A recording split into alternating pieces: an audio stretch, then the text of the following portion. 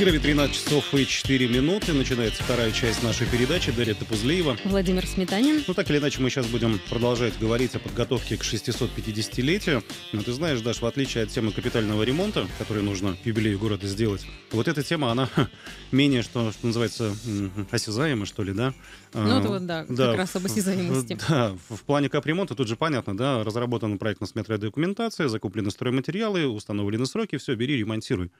Фасады, фундаменты, крыши и так далее. А вот то, сейчас, о чем мы будем говорить, ну, надо сложно признаться, надо, надо признаться сложно, да, как-то что-то вот расставить какие-то акценты, определиться. Ладно, в общем, о чем речь? На этой неделе в правительстве региона зашла э, тема брендирования да, Кировской области.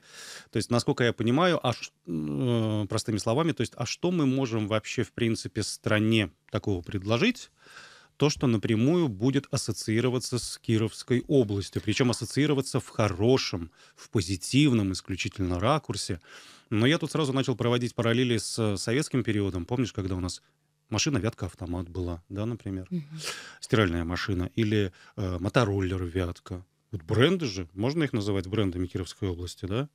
Ну, мы хоть и э, малую часть в Советском Союзе прожили своей жизни, но все-таки, э, ну, если, ты, если ну, верить старожилам, то гремели прям, на всю страну. Да, ты прямо о каких-то фундаментальных опять вещах, да, говоришь? Ну, а я вот как-то человек основательный, тех, да, о, я о тех, привык. которые можно да. потрогать, и там, не знаю, шведская стенка и тому подобное. То есть э, ты имеешь в виду, что человек приезжает там, в Кировскую область конкретно, например, чтобы купить ну, стиральную машину, да, назовем Нет, ну я изначально ну, говорю о том, что человек, вне зависимости от того, где он там живет, за пределами Кировской области, либо там на Дальнем Востоке, за Уралом или в европейской части страны, то есть я говорю о том, что вот э, при упоминании вот этого четко у него возникнет образ этой вещи и, безусловно, привязка к Кировской области. Вот я об этом говорю.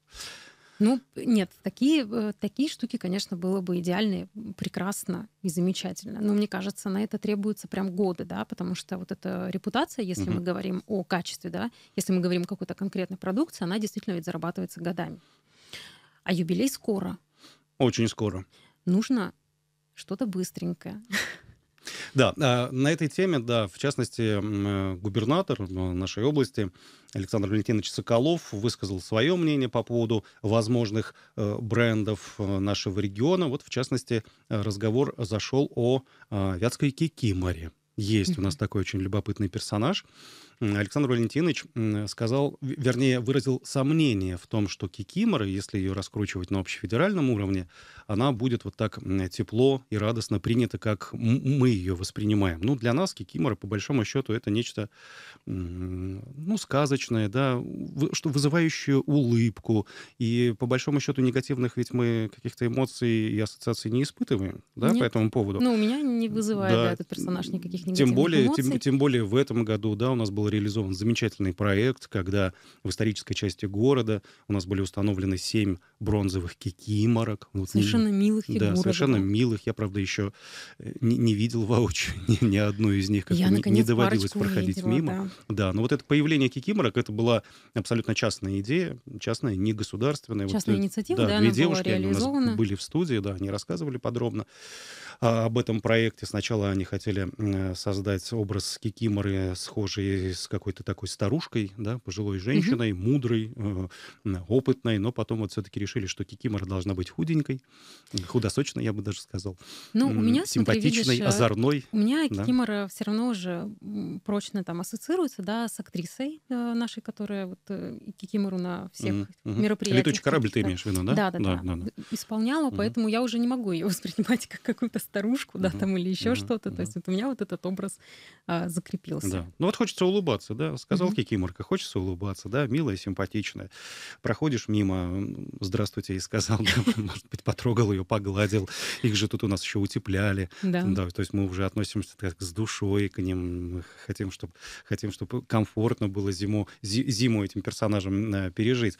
Вот. А вот на высоком уровне пока эта идея оценивается, мягко говоря, не лучшим образом.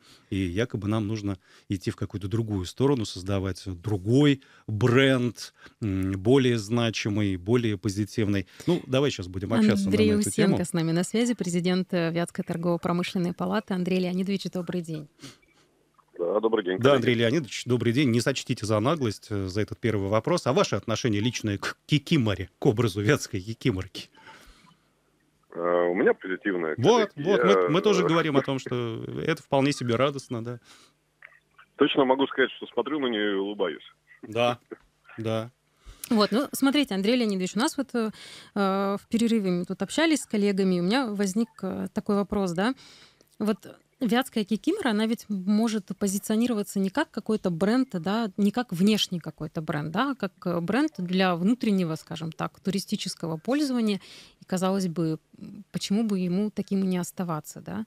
То есть мы же не а, люди, вот эта вот инициатива, да, которую Владимир сейчас рассказывал, вот эти фигурки, да, кикиморка. То есть это была частная инициатива на частные деньги, а, никаких там бюджетных государственных средств э, для этого не привлекалось. Не просто и... частные, там люди скидывались еще, все, да. же, все, все, все желающие. Казалось бы, если людям нравится, то почему бы и нет? Слушайте, ну, коллеги, мне кажется, это была замечательная, хорошая там акция, идея, она, надеюсь, продолжится, и собственно говоря, никто ведь не давал оценку там ни Кикиморе, ни там проекту. А, то, что там а, ну, появилось в СМИ, это касалось исключительно, на мой взгляд, из того, что там я там, понял, это касалось некой там оценки ну, перспективы продвижения на, там, во внешнюю среду. Да, э, и мы понимаем, что ну, действительно там а если продвигать там Вятскую Кисимору, то в отношении ряда регионов придется ну, преодолевать определенное там предвзятое отношение. Речь-то ведь шла не о нашем отношении, не об отношении там губернатора, а о том, что это предвзятое отношение есть у других, и нам придется uh-huh. его преодолевать. Uh-huh. Зачем а это что... делать? Ну, а что за предвзятое отношение? Возможно, ну, вы чаще по регионам ездите, чем мы с Владимиром. Возможно, вам приходилось сталкиваться с какими-то негативными отзывами. Слушайте, ну не то, что негативными, просто образ э, ну, Кикиморы в значительной степени он сформирован как раз как некая там, не знаю, там болотная девушка, там, да, не очень симпатичная, в тине и, и все такое. И, и, и лет преклонных, как правило. А, конечно, можно ну, потратить время и определенные ресурсы, в том числе финансовые, на то, чтобы этот образ изменить. Но мы с вами понимаем, что у большинства жителей нашей страны, когда мы говорим «Снегурочка» один образ в голове, когда мы говорим «Кикимора» другой образ в голове. Uh-huh. И речь шла о том, что если мы выбираем, собственно говоря, образ, с которым идем во внешнюю там, среду, в другие регионы, то, ну, может быть, не стоит преодолевать вот этот сложившийся, а найти образ другой, который у нас там достаточно, там та же дымковская барыня или что-то еще. Поэтому, мне кажется, не совсем правильно было воспринято там именно как оценка там самой самой замечательной этой девушки, а здесь больше шла речь о том, о, о выборе некого там символа региона для угу. Внешних коммуникаций. Ага, а тогда вот э, вопрос возникает, а кто-то рассматривал Вятскую Кикимору, ну то есть вот прям на полном серьезе, да, как э, бренд, который нужно продвигать на внешние рынки, нет, назовем так, ну, туристические? Нет, ну, мне неизвестно о том, чтобы прямо так рассматривалось. Я думаю, что ну, действительно это в первую очередь локальная история, а во вторую, но отдельные там продукты какие-то с этим связанные могут быть, да, не, ну, нишевые там, да, там, не знаю, по следам Вятской Кикимеры, может быть, туристический маршрут там, условно. Но точно, наверное, не стоит избирать это как символ или образ там региона. Вот об этом шла речь. Но там серьезных исследований чтобы кто-то проводил, мне неизвестно. Ну, а Андрей, а есть? да, Андрей Леонидович, ну у вас-то есть соображения на тему, что могло бы стать таким брендом? Или, возможно, у кого-то из коллег Явным, да, есть. хорошим, или идеи, которые озвучивались, с которым вы тоже неравнодушно и склоняетесь? Ну, смотрите, коллеги, здесь два, наверное, момента. Первое, это то, что, собственно говоря, у большинства регионов это, ну, такие, э, как это, мифы, которые появились не так давно, да. А, там, э, Великий Устюг придумал себе родину Деда Мороза, там, ну придумал, как бы обосновал и закрепил это в сознании. Дети, дети, на, дети надеюсь, сейчас нас не слушают, да, что, что, что все это придуманная история. Да. Нет, Дед Мороз действительно существует, мы все в это верим. А, я считаю, что здесь, когда мы говорим о внешнем а, Э, использовании, э, ну, неком позиционировании региона. Было бы правильно все-таки, ну, э, может быть, не полностью на откуп профессионалам отдать, но с участием профессионалов это сделать. Потому что внешний образ э, должен решать несколько там, задач. Он должен э, однозначно позиционировать регион, он должен вызывать приятные, но при этом понятные ассоциации. Он должен э, ну, помогать продавать. Я, извините, как там президент Да, торговой промышленной да. палаты скажу, что нам надо продвигать свои Конечно. товары, и надо, чтобы он помогал их продавать. Поэтому такие работы велись. И мы на оргкомитете обсуждали, что, собственно говоря, помимо самого там логотипа 650-летия у региона должен появиться внешний, ну, такой образ, с которым он э, ассоциируется. Предложения есть, они там рассматриваются дирекцией, насколько я знаю. Ну, что-то можем сейчас озвучить или... Секретик, секретик. Ну, я Все-таки думаю, что там представители дирекции непосредственно. Ага. Ну, я думаю, что они официально прокомментируют, э, ну, как бы, это их компетенция, но Мгм. набор, в общем-то, понятен. То есть в любом случае это не будет там, ну, не знаю, э, там, планет, инопланетная тарелка, там, да, там, вдруг сырующая с Кировской области. Это дымка, это наш узнаваемый там символ, э, ну, вернее, как контур карты, да, когда мы там граничим с девятью регионами. Это цвета достаточно там устоявшиеся. Опять же, там лес. Ну, то есть, Еда, может быть, А, какая-нибудь, рыжики. Рыжики же, ну, да? может быть, что-то, да, может быть, что-то из этого. Огурец. Я думаю, что просто здесь самое главное, вот э, уже сформированные там э, э, ну, некие тра- традиции и ассоциации э, увязать между собой, может быть, каким-то новым образом, да, и правильно при- преподнести. Я надеюсь, что вот, Мгм. собственно говоря, этот результат мы в рамках подготовки к 650-летию также получим. Вот смотрите, Андрей Леонидович, я абсолютно с вами согласен, что бренд, символ региона, он э, должен быть связан именно с промышленным, с бизнес-потенциалом да, конкретного субъекта. Вот неспроста я тут в начале передачи вспомнил Вятку автомат, да, стиральная машина, да, в советское время. Если ты кому-то говоришь за пределами Кирова, э, что ты именно из нашего города, то многие вспоминали, а, это там, где Вятка автомат делается. Дымка, дымка, хорошо, но дымка это все-таки народный промысел, а народный промысел это не бюджетообразующая статья, да? То есть в первую очередь бы хотелось действительно символ, чтобы был привязан, ну вот прям конкретные вещи, которые выпускаются у нас в области. Вот как Ну, Вятку автомат у нас до сих пор вспоминают все. Вспоминают, да. Поэтому, Да, да. Ну, еще раз говорю, мне все-таки кажется, что здесь мы, как э, ну, там, жители региона, как неравнодушные там, граждане, должны сформулировать некие, ну, давайте назовем это тех задания, да, что мы хотим найти символ региона, который будет, а, положительно, б, запоминающимся, там, с, идентифицируемым, значит, и уже вот э, это тех задания поручить специалистам, профессионалам, которые подумают, как увязать между собой там, дымковские мотивы и ностальгию по вятке автомат. Ну, условно, я, я очень примерно вижу, да. И, и когда они профессионально эту задачу решат, то мы посмотрим и там, ну, согласимся, не согласимся, но, по крайней мере, мы, мы будем понимать, как мы будем решать те задачи, которые перед этим а, образом стоят. Вот так. Мгм. Спасибо Да, большое, да, да. Андрей Леонидович. Андрей Мгм. Усенко с нами был на связи, президент э, Вятско торговой промыш... Вятской торгово-промышленной палаты. Да, спасибо, благодарим. Ну, на самом деле, можно очень, Я долго, тут, э, очень долго размышлять, Я что же... попыталась просто что вспомнить, да, какой-то, вот как ты говоришь, там Вятка автомат э, с региональной привязкой. Мне кроме трикотажа Ивановского ничего на ум не приходит. Мгм.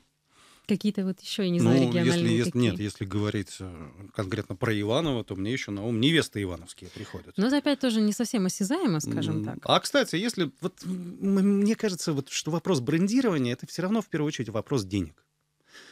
Если туда вложить огромные деньги, ну, я мечтаю, да, потому огромных денег Мгм. у нас, понятно, нет, и, наверное, вряд ли на эту сферу, да, будет отпущено.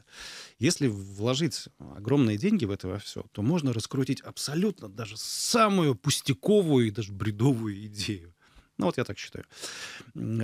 Если менять образ той же Кикиморы, ну, давайте мы ее, э, давайте мы попытаемся сделать образ, не знаю, как длинноногой красавицы с э, размером пятым груди. И будем этот образ везде э, Объективизация. про- продвигать, да, и Ну. она не будет у нас ни с каким болотом, лесом ассоциироваться. Нет, на самом деле, просто видишь, вот пусть, да, вятская кикимора там остается, скажем так, для внутреннего, да, пользования, ну, то есть какая-то какой-то бренд такой между собойчик, да, вот Мгм. мы, кировчане, про него знаем, а другие не знают. Приезжают, мы им говорим, что ты не знаешь, у нас есть вятская кикимора, да-да-да-да. М.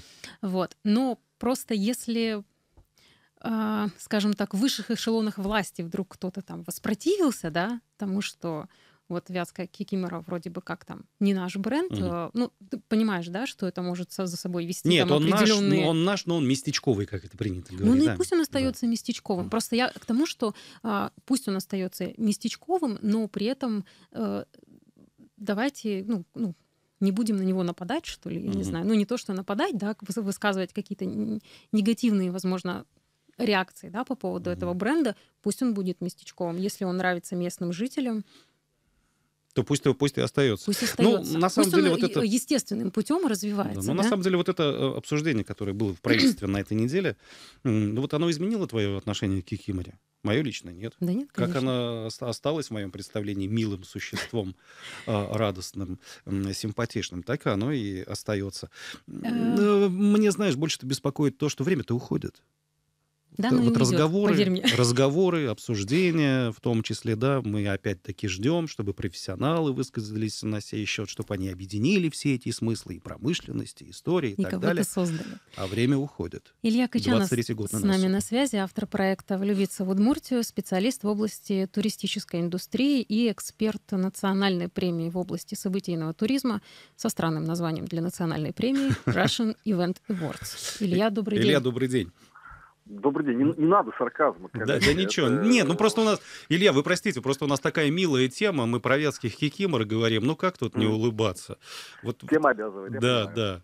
Э, Скажите, пожалуйста, э, вам известен этот образ кикиморы? Какое у вас отношение? Вызывает ли негативные Вызывает- да. ассоциации? Как к нему относятся жители Удмуртии в том числе, Если вообще как-то относятся, да? Начнем Да. с этого. которая была когда-то частью Вятской губернии? Ну или наоборот. Да. Ну, мы, безусловно, единая территория, и до сих пор э, вот это взаимное влияние друг на друга, оно ощущается во всем. И ментально мы очень близки, и архитектурно спасибо архитектору Чарушину, и много еще чего. Кикимора Вятская, конечно, это известный бренд э, для вашего региона, но, наверное, не самый главный, на мой взгляд, позвольте вот мне так сказать. А, как локальный бренд, он решает свои задачи. Это, в первую очередь, ведь сказочная история, правильно? Там очень понятно Да. целевая аудитория. Это дети. Это семей- семейный отдых. Если брать, скажем так, общее российский, наверное, расклад и взять сказочную карту героев со всей России, ну, возможно, Кикимора вызовет не самые там, позитивные ассоциации. Это ну, то же самое, как взять Бабу Ягу и сделать из нее топ-модель, понимаете, да? Ну, то есть примерно одного порядка. А, Хотя проект работает, я знаю, очень много туристов приезжает. Я сам недавно, вот э, в эти выходные провел в Кирове, э, где завершился финал национальной премии э, «Туристический сувенир», приехало к вам очень много людей. Да, и мы э, в том числе были на территории вашего замечательного Юркин парка и познакомились э, с Хлыновской заставой. А, я хочу сказать, что для Кирова, как первая ассоциация, наверное, как вот у соседей, у нас, безусловно, это дынковская игрушка. Это ни для кого не секрет, это вот ваш бренд, который э, очень ярко позиционирует э, регион. Но если вот брать туристов, скажем так, общую массу, да, всегда нужно общаться с людьми и всегда выяснять, какие у них есть ассоциации. Так вот, я, наверное, вас немножко расстрою, хотя в этом ничего плохого нет. От Кирова нет никаких ожиданий. И это очень хорошо, потому что э, когда мы едем в какой-то регион, ну, хорошо известный, разрекламированный, раскрученный, Мгм. у нас уже есть какая-то картинка перед глазами, у нас есть ожидания. И э, соответствовать этим ожиданиям, а тем более их превосходить, это крайне сложная задача. Вот от посещения Кирова всегда эффект вау, всегда э, удивление со знаком плюс, потому что, ну, ничего, скажем так, выдающегося обычный потребитель не ожидает. Ну, то есть Киров это А, такая не туристическая табуля раса просто-таки. Можно Чис- сюда положить чистая- все, что чистая доска. угодно.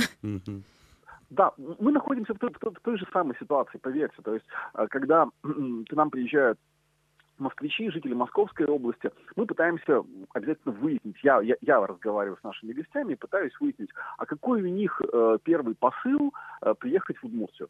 И нам казалось, что у нас есть там Чайковский, Калашников, бурановские бабушки, которые еще там, ну, живы, слава богу, и дай бог им здоровья. Но все это не работает в случае с обычным а, туристом. А, для них куда важнее, что Удмуртия – это родина пельменей. Ну, сейчас меня могут закидать шапками а, наши слушатели, потому что вот как только говоришь, что Удмуртия – родина пельменей, начинается невероятный скандал в любой социальной сети. Но просто э, само э, название уже запатентовано, у нас проходит Всемирный день пельменей, очень пермяки на нас соседи тоже обижаются, что мы у них забрали пельмени. Да и, Вот. да и на Вятке, Но- наверное, тоже есть кто, да. Но- Готов но- усомниться. другие, чуде- другие чудесные блюда, да и рецептов пельменей столько, что хватит на всех, и на Удмуртию, и на Вятку, и, и- и- и на Пермский край.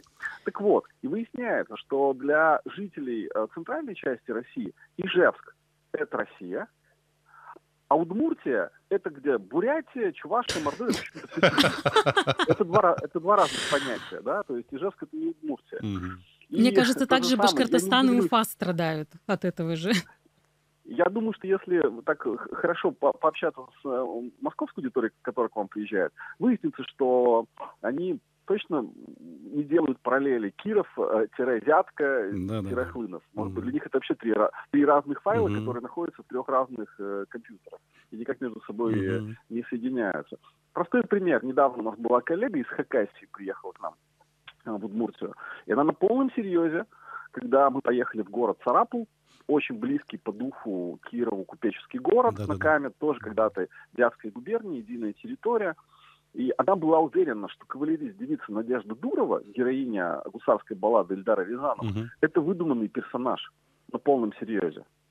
Ну а то, что Чайковский родился у нас, э, для нее вообще стало откровением. Ну, то есть, и она не исключение, к сожалению. Ну, вот это вот просто наш уровень знаний о э, России. Илья, ну Вот смотрите, вот поэтому- Да. А, По поводу дымки, да, понятно, что дымка там это Мгм. первое, что приходит на ум, но э, возникает такое ощущение, что внутри, да, там сам, самой Кировской области, по крайней мере, в среде молодежной, да, но дымка, то есть это то, что уже, ну, изрядно поднабило оскомину людям. И кажется, что хочется чего-то более свежего, более э, нового, более современного.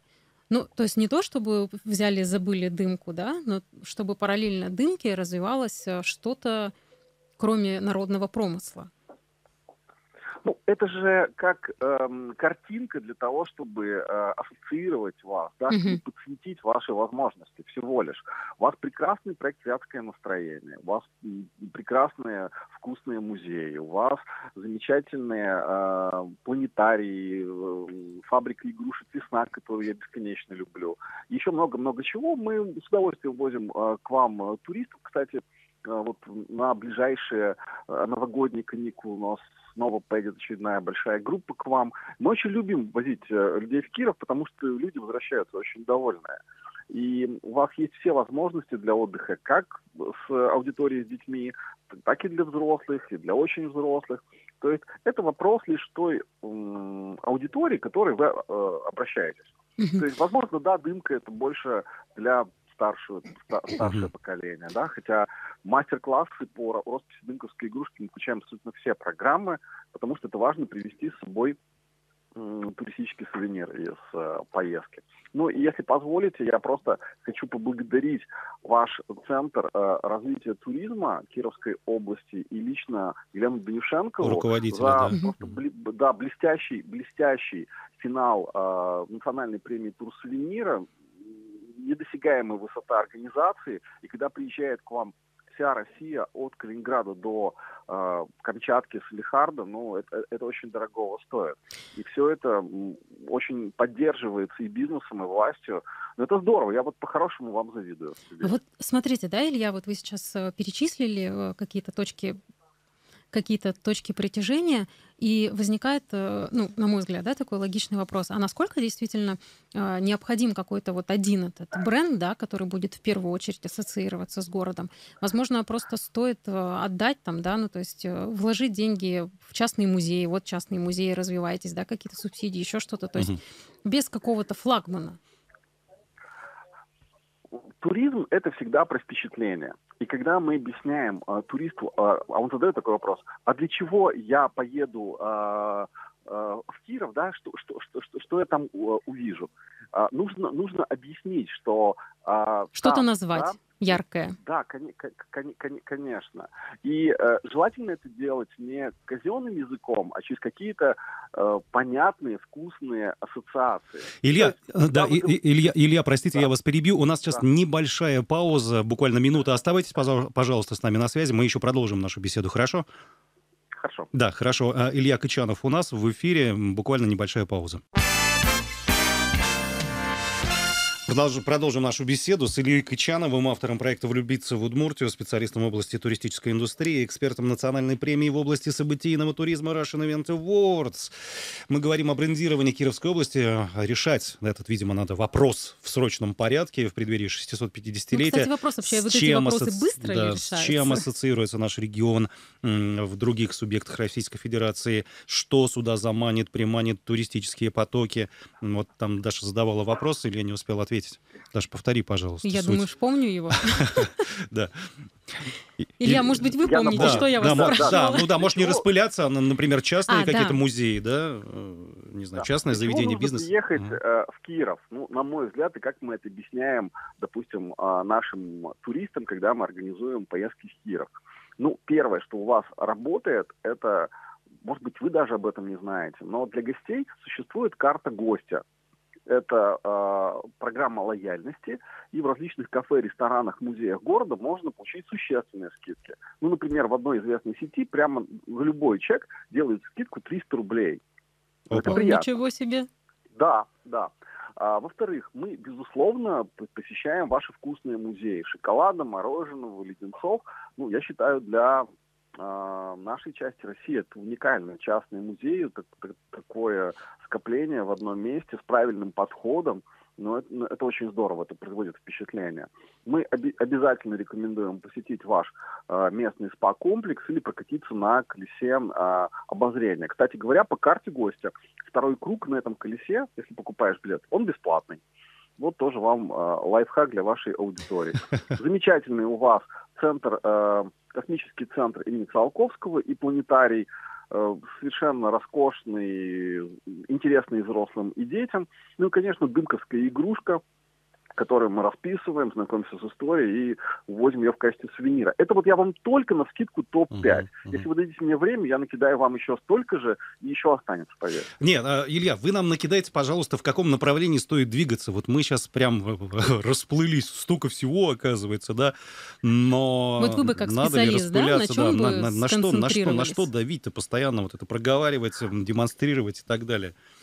Наибольше... Все-таки дымка, ее модернизация, ее развитие как-то, не знаю. Я не говорю, что дымка должна стоять в центре, э, mm-hmm. в, в, в центре, да, но это, безусловно, та ассоциация, от которой вы никуда не денетесь. Это то, точно так же, как Башкирия будет ассоциироваться с медом. И, а, вот а, об этом можно э, ломать копья, а, об этом можно э, спорить, но лучше, наверное, этот факт принять и адаптировать его под свои задачи. На мой взгляд, сегодня Киров и Кировская область – это прекрасный центр для семейного отдыха куда можно приехать и с детьми, и без детей. И его так и нужно, мне кажется, продвигать как территорию для отдыха с детьми. Mm. А, потому что головная боль для большинства родителей, как э, организовать э, отдых, э, досуг детей. Я не удивлюсь, если у вас как раз пики, а, пиковые даты приема гостей приходятся на школьные каникулы, на новогодние, майские праздники. Да, да, да. Но это, это логично, потому что людям необходимо выдохнуть и куда-то поехать с чувством, с толком, с расстановкой, интересной, чтобы дети были довольны провести э, свое свободное время. А я вот сейчас задумался, а какое может быть олицетворение у семейного отдыха, то есть конкретный образ. Хм. Даже как ты думаешь? С, че, с чем семья, мама, папа, дети, вот эм, во ну, что это можно воплотить, интересно? Ну, мне да. всегда неплохим потенциалом казались вот э, все вот сказочные, да, персонажи. Да, ну кикимор уже да. есть, должен быть кикимор, муж, и, и если и, говорить и, и, там, о каком-то событийном видимо, да. туризме, то был прекрасный пример, да, там э, как их сказочных игр на Вятке, mm-hmm. которые самые первые были, на мой взгляд, совершенно потрясающее событие. Было непонятно, почему оно потом превратилось в не очень понятное нечто, да, но это уже вопросы к другим людям. Вот. Но, Про гастрономический туризм мы еще хотели, да, у Насколько, спросить. да, силен да. потенциал в России вообще в принципе, да, и в отдельности там по регионам гастрономическому туризму?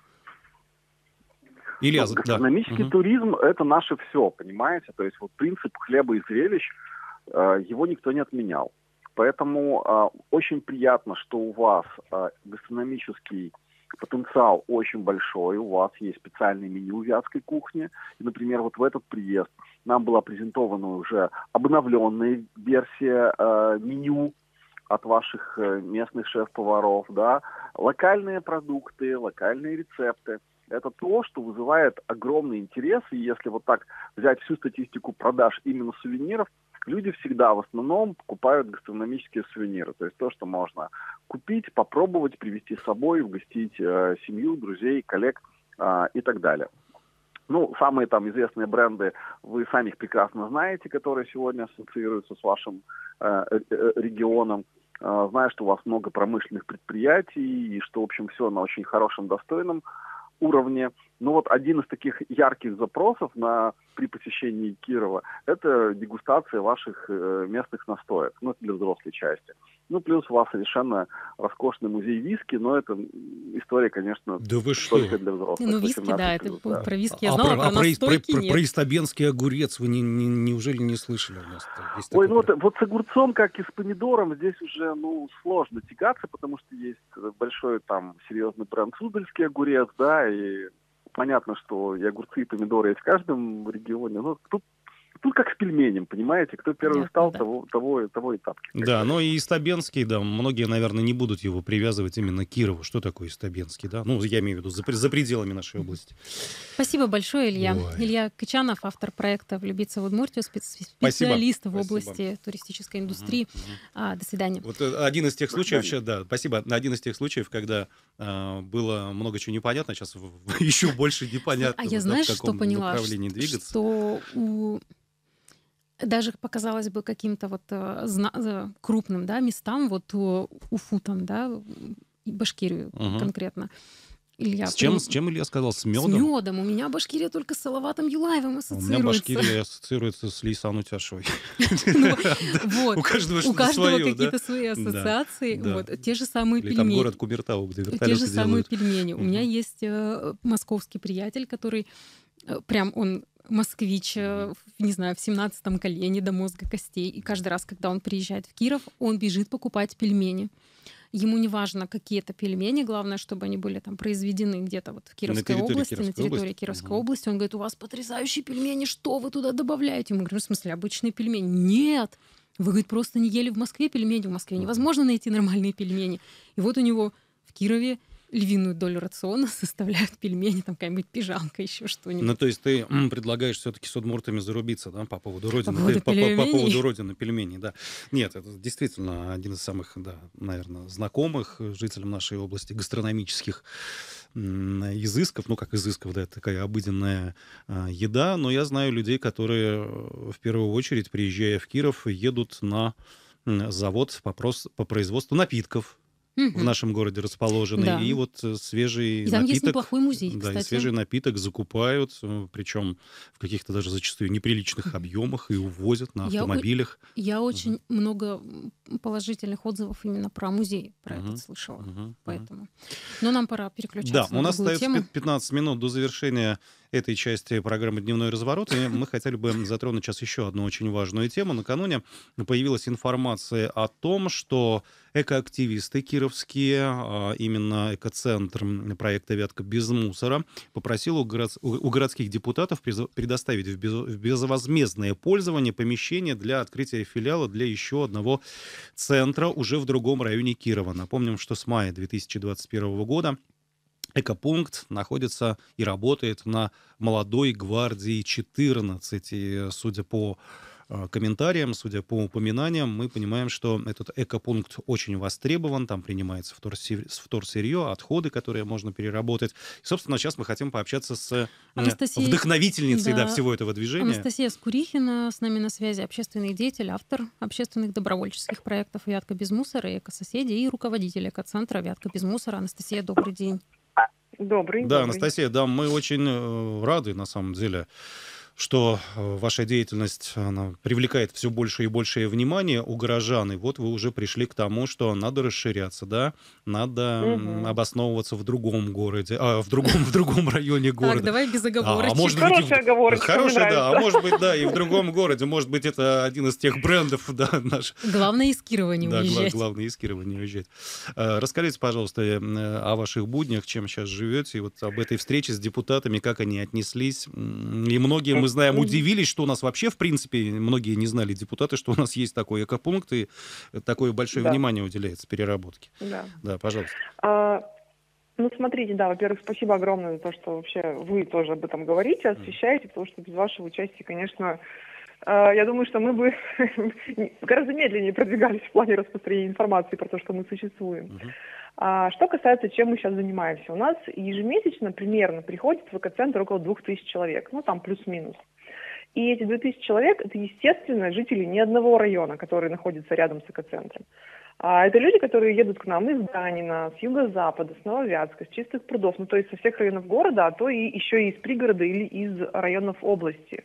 И понятно, что с самого начала, в принципе, открытия стоял вопрос э, о, о необходимости ну, открытия каких-то филиалов или хотя бы хоть каких-то точек в других районах. Но проблема в том, что ресурсов-то у нас мало, а хотелок-то много, ну, то есть я имею в виду общественников, в частности, э, по, по раздельному сбору. Поэтому мы сконцентрировались этот год на одном да, пункте, ну, конкретно на Молодой гвардии. Uh-huh. А сейчас, поскольку, во-первых, э, количество увеличивается, и мы уже провели за этот год, мы же работаем по, по президентскому гранту по экопросвещению, и мы провели обучение для больше, чем 4000 человек. Это 2200 детей, примерно около 800 студентов, остальные это взрослые люди. Это сотрудники разных организаций, в том числе органов власти, администрации города, в том числе и правительства области. Это сотрудники коммерческих организаций различных. И все эти люди, ну то есть представьте 4 тысячи человек плюсом, да, которые да. э, узнали про то, что существует вот такая возможность и вообще философия жизни, и они поняли, что могли бы в этом участвовать. Они начали сортировать, и объем э, вторсырья увеличился, и увеличилось Кроме того, посещ... ну, то есть количество посетителей и их география. Соответственно, люди стали все чаще задавать вопросы и в группе, и везде, и писать. Ну, то есть это уже больше, больше похоже, знаете, такой большой общественный резонанс, uh-huh. что вроде, а мы вот хотим у себя. И поэтому мы провели у себя в группе голосование на тему, где бы вы хотели. Победил, конечно, Нововятск, но я подозреваю за счет того, что там форсировали немного э, голосование различными пабликами очень а, большой по численности. А в целом, ну, мы видим, что удаленные районы, это центр, это как раз Нововятск, Филейка, Юго-Запад и Чистые пруды. Это логично и естественно, да, что людям было бы удобнее не ездить далеко от дома, а иметь такую возможность там. Ну, вообще, в принципе, да, нас... идеальный вариант в каждом из обозначенных районов был бы свой конечно, пункт. Да, да, угу. да, конечно. И дальше у нас, собственно, стал вопрос, а что мы можем для этого сделать, потому что сейчас, если мы в, таком же формате продолжим, как мы сейчас существуем, это коммерческая аренда, это 120 тысяч, чтобы вы понимали, в месяц только мы платим за аренду помещений вот этих всех. Это очень много на самом деле, потому что я хочу прям подчеркнуть здесь, что у нас не коммерческая просветительская деятельность. Почему-то очень многие люди думают, что на вторсырье, ну там в частности, например, мы прям зарабатываем миллионы, миллиарды. Вот я хочу огорчить таких людей очередной раз в эфире о том, что, сказав о том, что сейчас, во-первых, вообще просадка на рынке вторсырья из-за спецвоенной операции, там цены упали в некоторые, ну, некоторые позиции там, в 10 раз, соответственно, мы, условно говоря, ведем, до этого вели более-менее добровольческую деятельность, сейчас вообще, можно сказать, бесплатную деятельность в этом плане. У нас, чтобы вы понимали, вот 2000 человек приходит в экоцентр, примерно 8 тонн вторсырья мы собираем, различных фракций, там угу. бумага, и стекло, и э, пластик. пластик, и металл, и мы получаем с этого 20 тысяч рублей а аренда 120, а зарплата еще примерно столько же. То есть у нас расходы по экоцентру 300 тысяч сейчас идут в месяц. Соответственно, а какой вообще, ну, как бы коммерческой деятельности и покрытие расходов именно с этого, да, э, можно вести речь? Конечно, вот, допустим, ну, мне возражают многие, но ведь э, пункты приема там различных, в различных районах города существуют, ну, там вот, допустим, вот эти а, платные, где деньги платят, да, людям за принесенные предметы. Так. Ну, я аку... говорю, ну конечно. Аккумуляторы, потому что, например, автомобильные, да? Ну, во mm-hmm. да, во-первых, у них какая площадь, это раз, то есть там гараж на 10 квадратных метров. Mm-hmm. Во-вторых, у них принимаются только ликвидные фракции, за которые они сами получают большую маржу, и они не принимают, как мы, там 50 видов, из них больше половины это лишь бы взяли в переработку, мы платим еще транспортные издержки. И они, третье, самое главное, они не ведут, все эти пункты не ведут экопросветительскую деятельность. То есть они не, не ходят по школам, они не ходят по организациям, и они просто сидят вот так вот, как, ну, знаете, как в магазине, да, ну, понятно, и принимают. Да. И это совсем разные вещи, которые вообще сравнивать ну, нельзя абсолютно, потому что мы вообще как бы не в том контексте находимся. Ну, Анастасия, я могу вам посоветовать только каждому, кто считает, что это очень прибыльный вид деятельности, предложить э, заняться этим, если это уж так А прибыльно, я, например, так и делаю, после этого все разговоры, после этого совета все как бы комментарии на эту тему прекращаются, потому что никто не хочет с этим связываться. Так вот, да. мысль пошла как раз в сторону безвозмездного помещения, и, естественно, это кто? Это у нас Кировская городская дума. Да. И я сразу же стала поднимать вопрос о том, что давайте соберемся. Я хотела, конечно, выступить у них, но когда случилось прям, я не знаю, мне кажется, это историческое событие, в частности, для нашего движения точно, но для э, Думы, кстати, тоже выездное заседание в некоммерческой организации, да, прям на территории. А, и это было, честно говоря, прям вот для всех открытие, для нас и для них, потому что они действительно больше половины тех, кто пришли. Пришли, правда, не всем составом, естественно, но, тем не менее, даже те, кто дошел, они были просто в шоке. ну, то есть, а, а при этом, и при этом, можно сказать, ну, нужно сказать, что пара человек из депутатов именно, они уже сортируют, то есть они уже являются посетителями, они об этом сказали тоже на заседании, и это тоже было вдвойне приятно. А, Анастасия есть, вот... обнадеживает, хотя бы два депутата из 36 в городской думе у нас сортируют. Прям очень да, позитивная информация. Да, это действительно обнадеживает. Ну, да. Ну, кстати, после этого разговора, после этой встречи, еще парочка начала, и сегодня Причем буквально здесь же. Да, да, с, с, с одним тоже депутатом, она сказала, что вот прям это на самом деле для нее вызов, но она продолжает. Mm-hmm. Вот. Так вот, э, помещение мы сейчас смотрим. Если все получится, мне бы, конечно, хотелось, чтобы это было в нескольких районах. То есть не так, чтобы одно какое-то опять вот э, получить, и потом думать, э, гадать, ломать голову, где же нам еще взять средства на, на открытие еще одного. Поэтому мы же не коммерческий сектор, поэтому абсолютно Но... правильное решение. И депутаты поддержали, что угу. безвозмездное пользование, оно здесь прям имеет место быть. Ну, насколько вот. мы понимаем, там департамент муниципальной собственности должен э, вам список э, какой-то предложить, где... А он, по-моему, ну, есть на сайте. Да, мы работаем в этом направлении сейчас. Да. а смотрите, Анастасия, да, вот если говорить о том, что неплохо бы, чтобы в каждом районе был такой пункт, можно как-то на примере существующих проанализировать, да, кто туда ходит? То есть это действительно э, по большей части люди близлежащих каких-то домов, кварталов, да, угу. или для человека, который занимается там сортировкой мусора, в принципе, неважно, куда ехать, он раз в месяц загружает там это в машину, да, если она у него есть, и привозит. Ну вот по нашим наблюдениям, конечно, во-первых, я хотела бы обозначить, что попросить даже, чтобы не называть это пунктом, потому что я уже обозначила, mm-hmm. что пункт это немножечко другое, да, все-таки давайте центром называть, Экоцентр. который Экоцентр. в себе объединяет несколько направлений, да, деятельности. Вот. А во-вторых, да, действительно, люди ездят из разных районов, и, ну, понимаете, дело в чем? Это продиктовано необходимостью. Ну, условно говоря, куда они еще поедут, если не в экоцентр сейчас, если они хотят, ну, по максимуму вот за эту идею живут этим, да, и они а, поддерживают эту идею. Если же мы говорим, что мы откроем э, экоцентры, филиалы, так скажем, в разных районах, то, во-первых, это создаст приятную, так сказать, э, возможность для тех, кто уже сортирует, и самое главное, создаст прецедент для тех, кто еще не сортирует, и они увидят, что вот, прям в шаговой доступности что-то стоит, оно открыто, оно привлекательно выглядит, то есть там условно не маргинальные слои населения все время... Э, Бутылки сдают общаются между собой, да, да, да, да, да, пытаясь заработать эти 10 рублей. Так вот, это красиво, это привлекательно, можно прийти с ребенком, и тогда вовлеченность населения, конечно, вырастет, когда это будет рядом в шаговой доступности. Анастасия, буквально в двух словах давайте еще напомним про суть э, просветительской работы, которую вы проводите, обучение.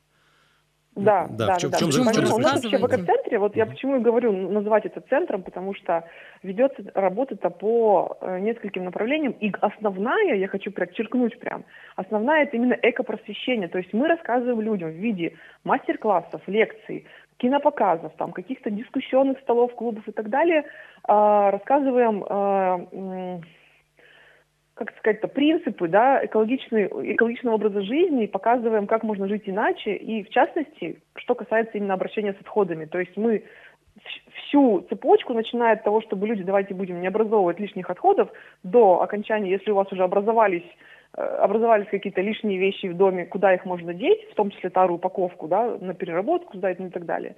Вот мы это все ведем, и это большая часть времени, ресурсов у нас и сил занимает. И вот как раз э, место для приема, то есть вот второй этаж, там первый этаж в нашем экоцентре, где именно принимаются виды вторсырья, да, то есть пластик, стеклобумага и так далее. Так вот, это следствие то, того самого просвещения, потому что мы не можем просто так, ну, вернее, это не очень правильно. Мы, конечно, можем ходить просто рассказывать голословно, да, но я просто увидела из своей жизни, из практики за 6 лет, что это вообще неправильно, говорить людям про теорию о том, что хорошо бы спасать мир, но не давать дальше возможности э, это делать в практике. Поэтому мы и организовали, собственно, прием этого вторсырья, чтобы люди имели возможность э, принести и сдать. Кроме того, кроме вторсырья, мы принимаем же еще одежду сейчас в больших количествах. Mm. Это все, что можно носить, и все, что носить нельзя. Например, с дырками, с пятнами. Ну, то есть э, то, что мы отправляем в переработку.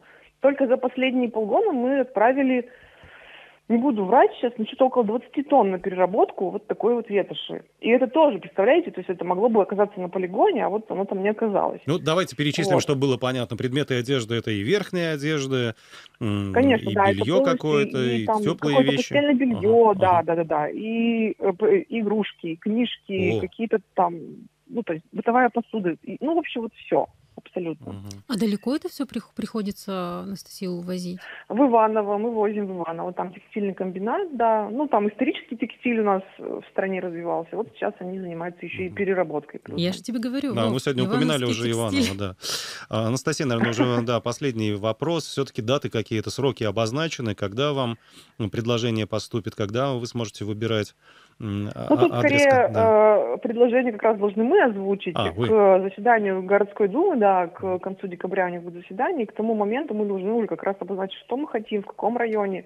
И я очень надеюсь, что этот вопрос вынесут на повестку отдельным вопросом, uh-huh, проголосуют, uh-huh. и нам все-таки uh-huh. удастся уже с Нового года, с января начать какие-то движения в других местах. Ну, надо понимать, что в распоряжении муниципалитета, именно муниципальное имущество, да, где вы, вы бы могли разместиться, оно есть в разных районах города, действительно.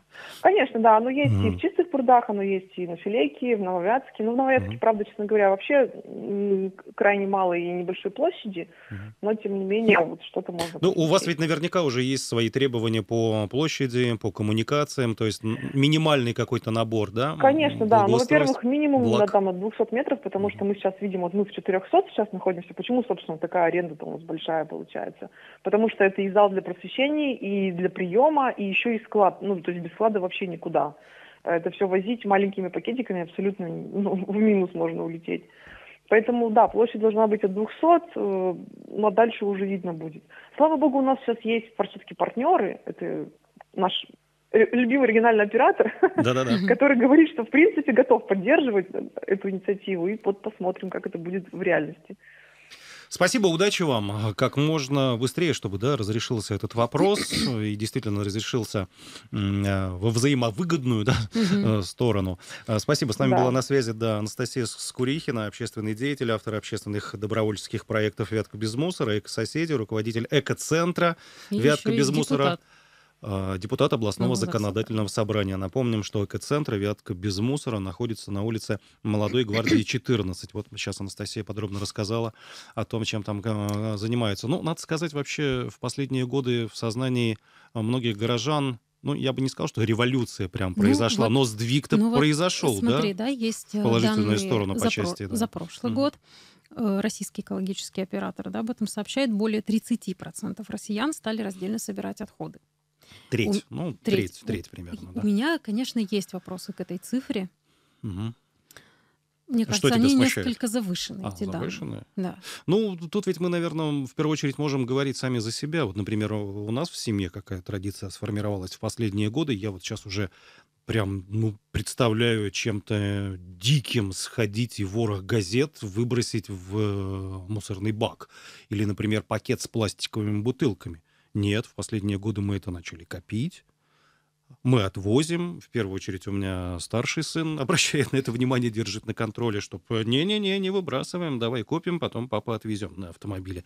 Собственно, мы так и поступаем сейчас. А, мы копим батарейки. Батарейки, да, батарейки Причем мы тоже копим, да, Самое, безусловно. что смешное и забавное во всем этом, что копить эти батарейки нас заставили дети.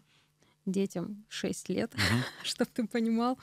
А, Они увидели это в каком-то мультфильме, в «Свинке Пеппи», Мгм. по-моему, Мгм. и когда в очередной раз мы собрались выбрасывать батарейки, они сказали, Ай-яй-яй. батарейки нельзя выбрасывать. Мы завели мисочку Контейнер специально, да, контейнер, куда складируются теперь все а, батарейки, аккумуляторы, и потом относим в вот в эту вот коробку Мгм. у У киосков, киосков с водой, артезианской да. водой, да. Ну, ну да, интересная штука, мы хвалили, да, уже неоднократно в нашем эфире. Ну, ты когда читаешь э, эту инструкцию, ну, историю, собственно, того, к чему может привести неправильная утилизация этих отработавших батареек, что одна батарейка заг- загрязняет почву на огромной, на огромной территории, ну, тут ты, конечно, проникаешься каким-то серьезным таким настроением и понимаешь, что надо э, сери- э, ответственно быть. подходить, да, и особым образом э, ути- утилизировать все это.